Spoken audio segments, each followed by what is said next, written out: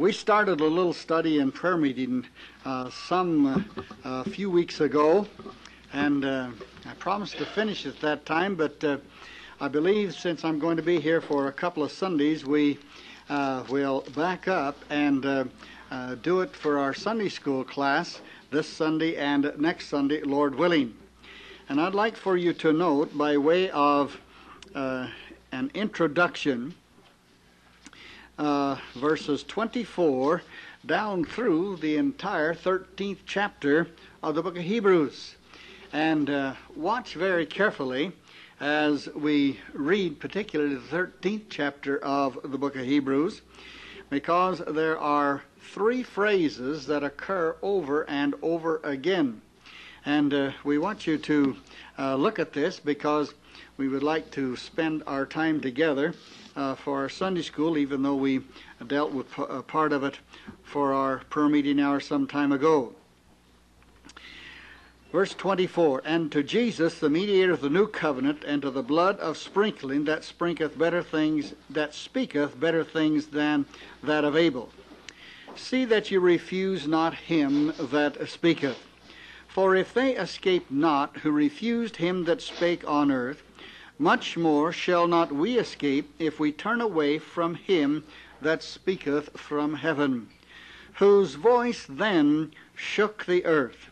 But now he hath promised, saying, Yet once more I shake not the earth only, but also heaven.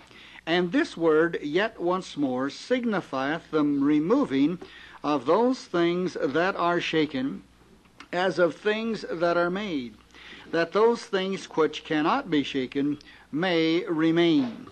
Wherefore, we receiving a kingdom which cannot be moved, let us have grace, whereby we may serve God acceptably with reverence and godly fear.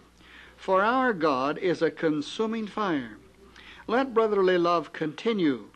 Be not forgetful to entertain strangers, for thereby some have entertained angels unawares. Remember them that are in bonds, as bound with them, and them which suffer adversity, as being yourselves also in the body. Marriage is honorable in all, and the bed undefiled. But whoremongers and adulterers God will judge. Let your conversation or conduct be without covetousness, and be content with such things as you have. For he has said, I will never leave thee nor forsake thee, so that we may boldly say, The Lord is my helper, and I will not fear what man shall do unto me. Remember them which have the rule over you, who have spoken unto you the word of God, whose faith follow, considering the end of their conduct. Jesus Christ, the same yesterday and today and forever. Be not carried about with divers and strange doctrines, for it is a good thing that the heart be established with grace, not with meats, which have not profited them that have been occupied therein. We have an altar, whereof they have no right to eat which serve the tabernacle. For the bodies of those beasts whose blood is brought into the sanctuary by the high priest for sin are burned without the camp. Wherefore Jesus also, that he might sanctify the people with his own blood, suffered without the gate. Let us go forth, therefore, unto him without the camp, bearing his reproach. For here have we no continuing city, but we seek one to come. By him, therefore, let us offer the sacrifice of praise to God continually, that is, the fruit of our lips, giving thanks to his name. But to do good and to communicate, forget not, for with such sacrifices God is well pleasing. Obey them that have the rule over you, and submit yourselves, for they watch for your souls, as they that must give account, that they may do it with joy, with joy and not with grief, for this is unprofitable for you. Pray for us, for we trust we have a good conscience in all things, willing to live honestly. But I beseech you the rather to do this, that I may be restored to you the sooner. Now the God of peace that brought again from the dead our Lord Jesus Christ, that great shepherd of the sheep, through the blood of the everlasting covenant, make you perfect in every good work to do his will, working in you that which is well pleasing in his sight, through Jesus Christ, to whom be glory for ever and ever. Amen. And I beseech you, brethren, suffer the word of exhortation, for I have written a letter unto you in few words. Know ye that our brother Timothy is set at liberty, with whom, if he come shortly, I will see you. Salute them that have the rule over you, and all the saints. They of Italy salute you. Grace be with you all. Amen. Now, as we have read this portion of the Word in your presence, you have observed that in uh, the 13th chapter we have three verses which uh, begin with a clause that is very similar. The only thing that has changed in these three verses happens to be the first word of the sentence. For instance, verse 7 Remember them which have the rule over you. Verse 17 Obey them that have the rule over you. Verse 24 Salute all them that have the rule over you. Now, we have these three phrases or these three clauses. And yet, those three clauses must be taken within the framework of the verse itself and also within the framework of the context. If we're going to understand with uh, blessing that which is before us, we can often take passages like this, take them out of context, and do a great deal of injustice, not only to the biblical revelation, but also to the practical aspect of teaching. I personally like to take from verse 25. I missed, I went back to verse 24. I should have started verse 25.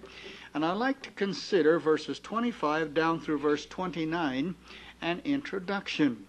An introduction to this 13th chapter. And I believe it's a fitting introduction for us because we read of one major, wonderful emphasis of truth.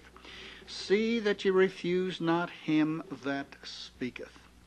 And as we journey down through these few verses, we discover that there's emphasis upon emphasis concerning that which is spoken. And one of the things we observe is the tremendous power of the revelation that is given, because he speaks about the matter of shaking the earth by virtue of his word. Then, secondly, he speaks not only about shaking the earth, but shaking both earth and heaven. Isn't that right? Now, then, when you have a person that is able to do that by virtue of his word, it in uh, it's incumbent upon us that we give heed. Isn't that right? Um, I, haven't been around too many places where when someone spoke, why uh, the uh, place just uh, shuddered. now I've uh, been in places where you would like to have some earplugs uh, and all of that with a bunch of racket, but that's because of a great crowd that uh, may break forth in exuberance over some particular incident. But here I'm brought face to face with a person. See that you don't refuse him.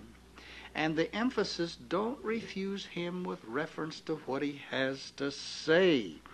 And then there is the uh, appeal for godly conduct in light of this person, in light of his revelation. And why? Because that person who is so powerful, who is who did when he spoke shook the earth many years ago, and who will, with a word, not only destroy the present heavens and the present earth, but who will, with that same word, I'm told, he is a consuming fire. Consuming fire. Now, I've often asked myself the question how much of this sinks into our heart? How much of it does? Um, do we just come to it in light of the fact, well, this is just another reading of the Bible. This is just another presentation of the book. Do we believe what we read? Do we believe what is here? If we do, it's going to have an effect. It really is. Now then, having said that by way of introduction, that person who speaks with such power and with such instruction for us, and who is to be terribly feared if one is not in right relationship with him because he is a terrific judge, he's the consuming fire. He gives us now his revelation in chapter 13. And I believe in this 13th chapter it can be divided very, very nicely into three parts. In verses 1 through 7, you have the emphasis of conduct. Conduct. Then in verses 8 through 17, you have the emphasis of service. Service.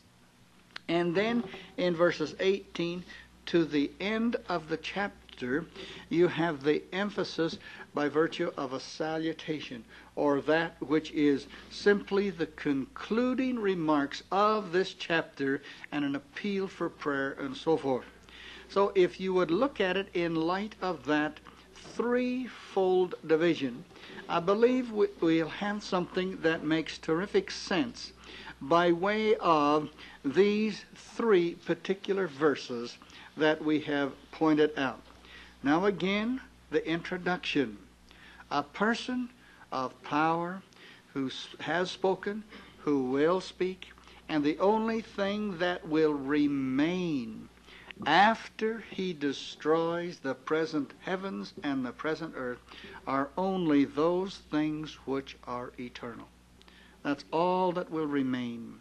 Nothing from a temporal point of view will remain here in this whole creation. Therefore, let us give heed to the first division which speaks and emphasizes conduct. Conduct. And I believe this to be the area of importance in verses 1 through 7. I'm going to read it again, and then we'll just point out a few things and zero in on this verse, which I believe is so grossly misunderstood. Let brotherly love continue. That's talking about conduct, isn't it? And it happens to be conduct in a relationship with other people. Be not forgetful to entertain strangers for thereby some have entertained angels unawares. Remember them that are in bonds, as bound with them, and them which suffer adversity, as being yourselves also in the body. Now, marriage is honorable in all, and the bed undefiled. But whoremongers and adulterers God will judge. Let your conduct be without covetousness and be content with such things as you have.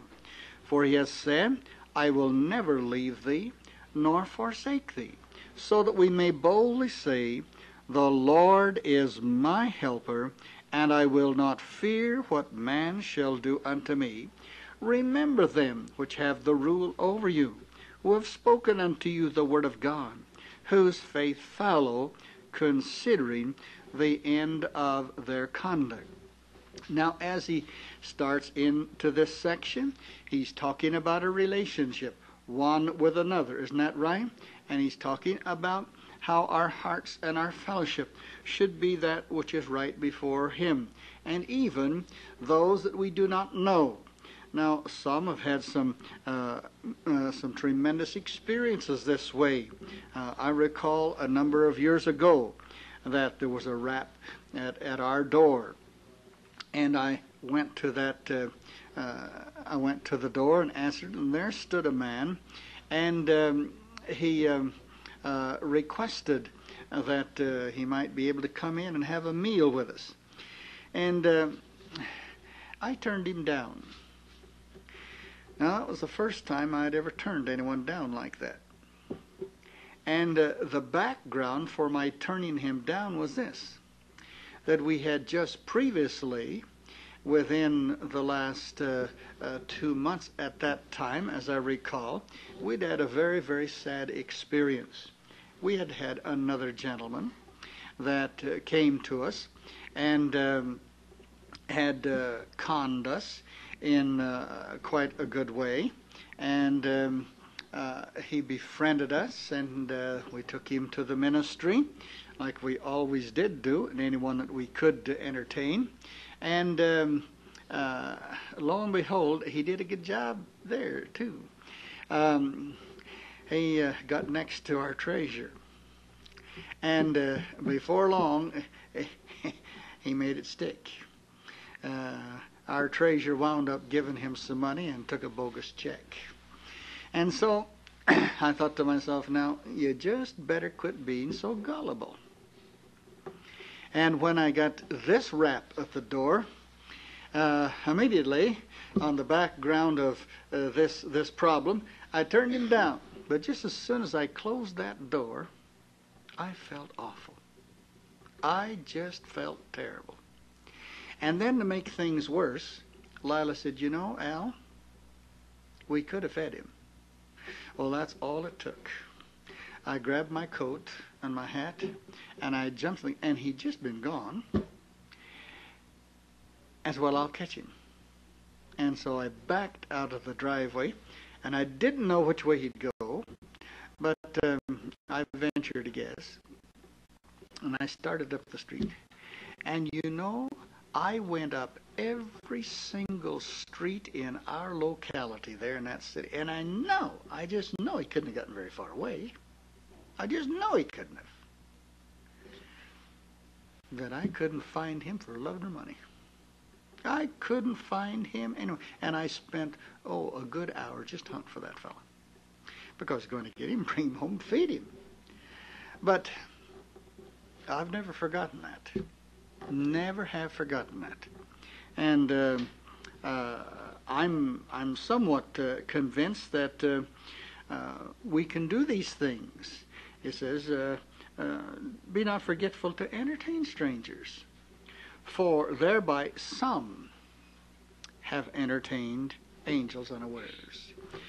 And then he said, look, care for those that are in bonds. Again, conduct. Then, conduct with reference to marriage and the warning with reference to that which is illicit. And then, our conduct with reference to possessions.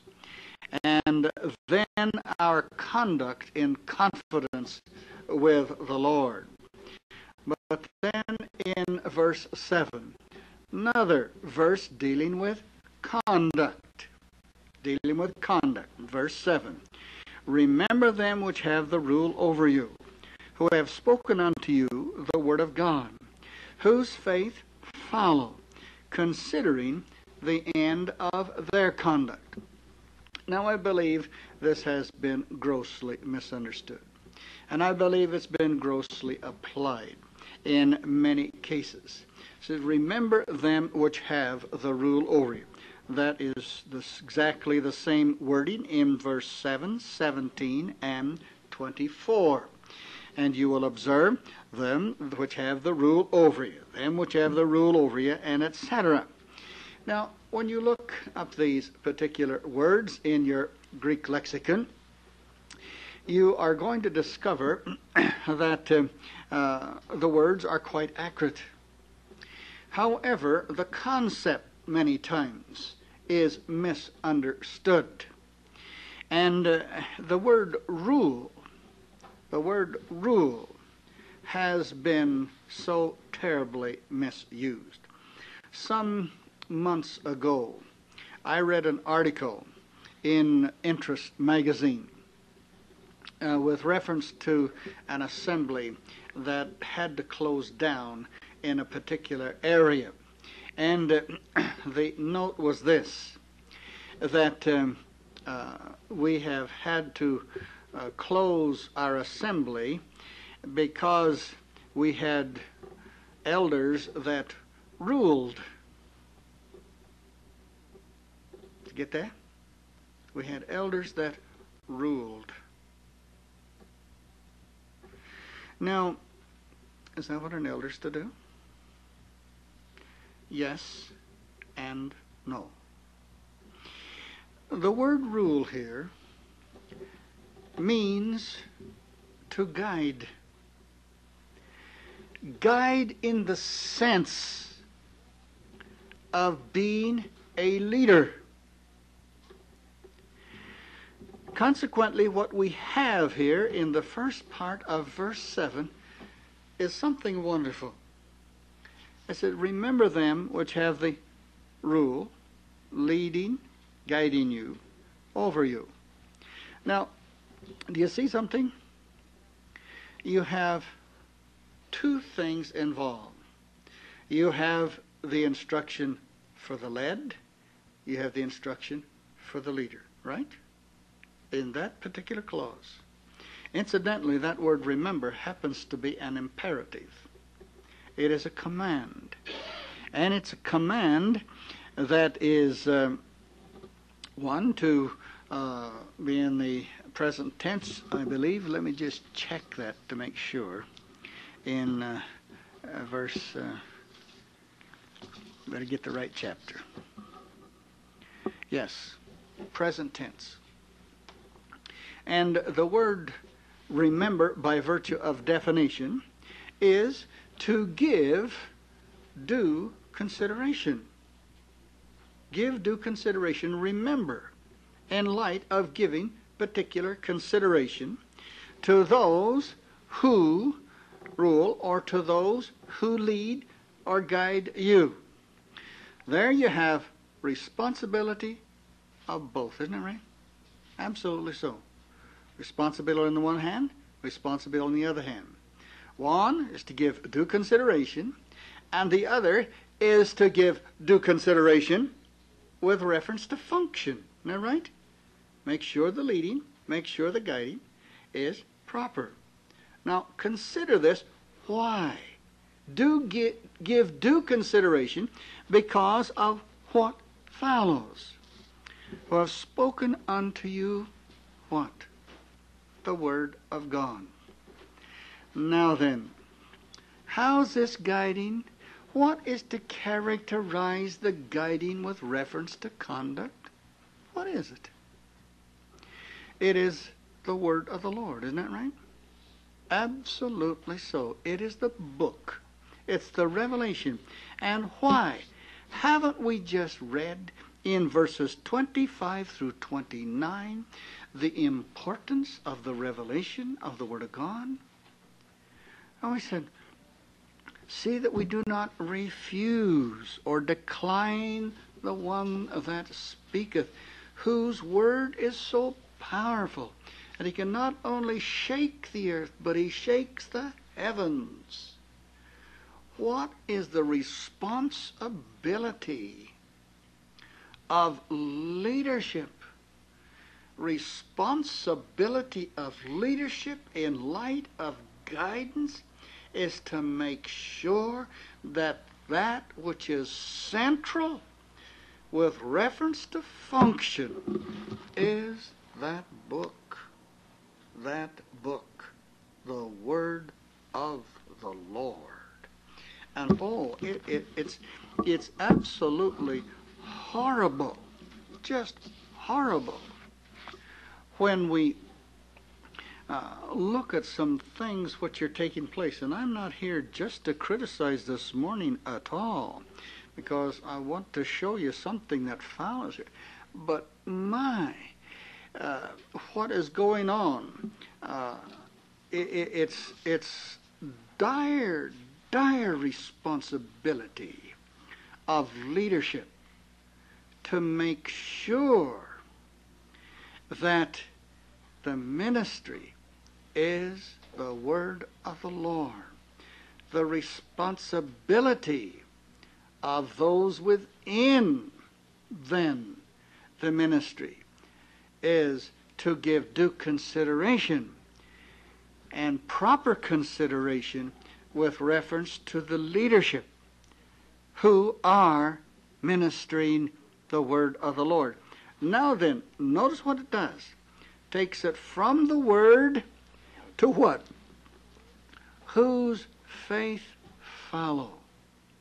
Now, there's just a little bit of difficulty um, concerning this particular translation.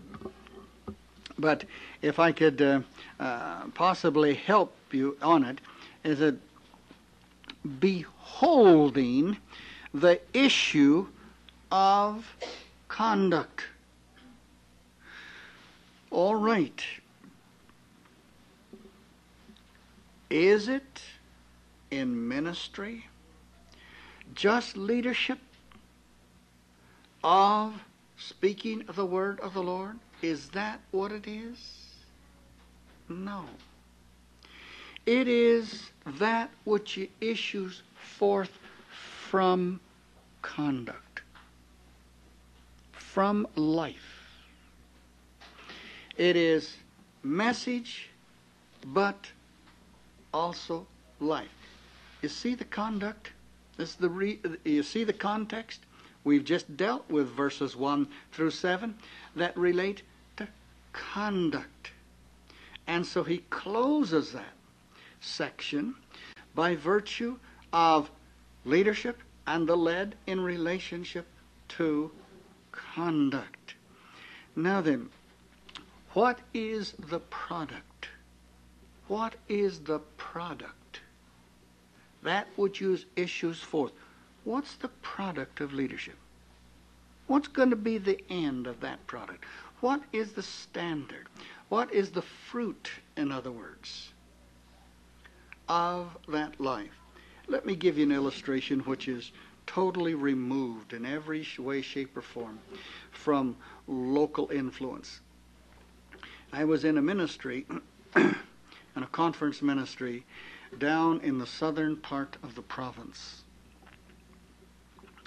There was a youth ministry that uh, it was it was sort of a conference for the youth, and uh, there were a number of the young people from the various ministries in that particular area that had gotten together uh, for their uh, youth retreat and youth conference and so forth, and there was a leader that was responsible for the the conference, you know, and um, uh, the young people were billeted in the various homes.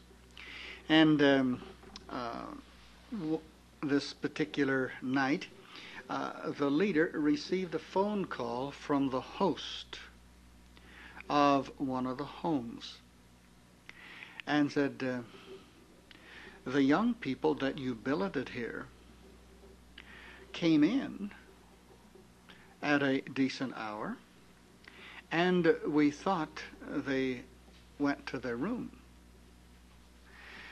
They did go to the room, but they opened the window and went out the window.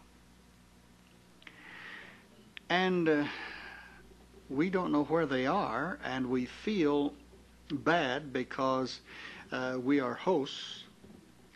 And so the leader said, Well, I'll see what I can do. Do you know what he found? He found this gang of kids out of the motel just hooping it up. He went to the phone, and just a few miles away was the leading elder of some of these young people. In fact, he was the father of a couple of them. And so this leader called him and said, um, I think I'm going to have to have some help from you. And he told him what was taking place. Now get the reply of the elder. That's your problem, not mine.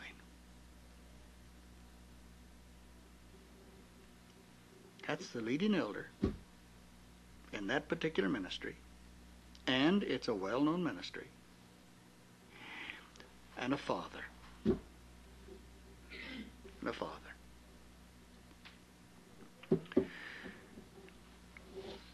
What is the conduct? What's the fruit of conduct? Consider it well. What is the fruit? What's the conduct? Don't you see the reason for the importance of the qualifications of 1 Timothy 3 and Titus chapter 1 with reference to families? With reference to their relationship to materialism? With reference to their relationship to the 15 things that are mentioned there in 1 Timothy? This is exceedingly important today because in the closing chapter, closing chapter of Hebrews, you have the two in such wonderful balance and harmony give the proper consideration, responsibility of those who are led, to the responsibility of those who give guidance to you by speaking what, by ministering what, by having what kind of a ministry? The ministry of the Word of the Lord. Why? Because the ministry of the word of the Lord is to produce a conduct. A conduct. That is to be given due consideration of that conduct, not only from the those that do the leading, but those that are led. Again, perfect harmony and balance with reference to the assembly. Now then, it says to do something. In the last part of that verse, actually, this is the Greek word mimic. Mimic. The what? Faith. Now, here, don't you see what the faith is? Faith is twofold by virtue of the emphasis of this verse. Faith is the faith that's the body of truth. And faith is the faith that's the shoe leather of that body of truth. Remember Romans chapter 1, verse 16 and 17 For I'm not ashamed of the gospel of Christ, for it's the power of God unto salvation to everyone that believeth, to the Jew first and also to the Greek. For therein is the righteous, righteousness of God revealed. What? From faith unto faith. Is that right? Now, justify for me, if you will, my experience of coming home from Toronto, talking to this young man, unsaved trying to identify for him what kind of a ministry you had, and bringing to his attention an individual who was an elder of a like ministry. And that boy said this Oh, I didn't know he was a Christian. But listen to what he said. He sure got a good job. What's the emphasis of that elder's life? You be the judge. I can only say this for my life. If a person works around me for a year and doesn't know that I'm a believer, but I have a good job, one that's paying good money, and one whereby I have a position of prestige, and that man doesn't know that I belong to Jesus Christ, then what's my conduct? What is my conduct? You be the judge. Now, I'm fully aware of the fact that both leadership and those that are led fall within the category of First John. We've all got a sin nature, right?